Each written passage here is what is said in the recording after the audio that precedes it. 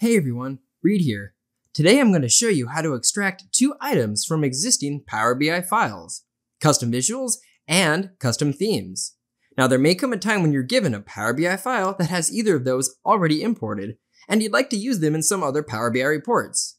Now, normally you'd be able to download a custom visual from the Visual Store or a theme from somewhere online, but if you have no ability to access either of those from the file that you have in front of you, this is going to be a really handy trick. So let's get started. So I'll use the Power BI file in front of me as an example, and if we look over here under page background, we will see that there is a custom theme currently in here. And again, let's say this was somebody from your organization who had created this, but you have no access to that original file and you want to reuse this in other reports, and you don't want to have to recreate that with one color at a time. And the other thing too is you can see that there are custom visuals in here, and let's assume maybe this was an internally developed custom visual that you would like to reuse. So how do you extract those from the file? So let's see how easy it is to do. So to extract those files from a Power BI desktop file, let's go ahead and take our Power BI desktop file, copy and paste that into the folder here.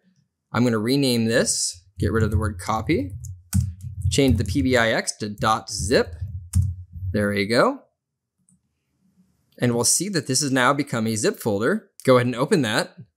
And then you will see that there's a lot of data in here. Now I won't talk about everything in here, but it's really nice just to come into the report section and we'll see that there's something called static resources and then shared resources.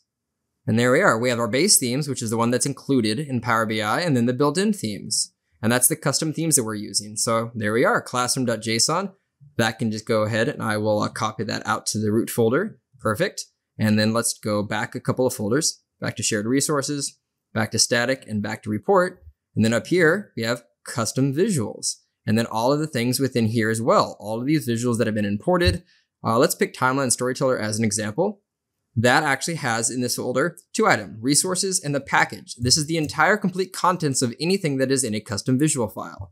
So again, I'm going to copy that out, paste it over to here, and I'm going to take these two things, multi-select, packages and resources, right click, and say send to zip folder. And I'm going to call this custom visual.pbi VIZ. So that is the extension for Power BI Custom Visuals. I'm gonna hit enter, change that extension. You'll notice that the icon over here has changed. And now let's go ahead and just look at a brand new Power BI desktop file. And the two things that we can do is we can do switch theme, import, and there's that JSON file that I have right here with the colors. That will go ahead and import that. Perfect.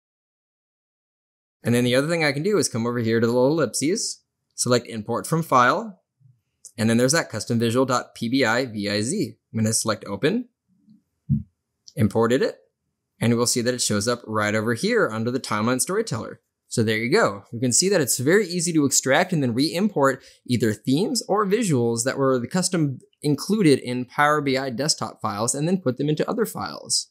And that about covers it for this video. If you like this video, please click that like button below. And if you have anything to say or requests for future videos, please add that to the comments section. And otherwise, I will see you in our next video.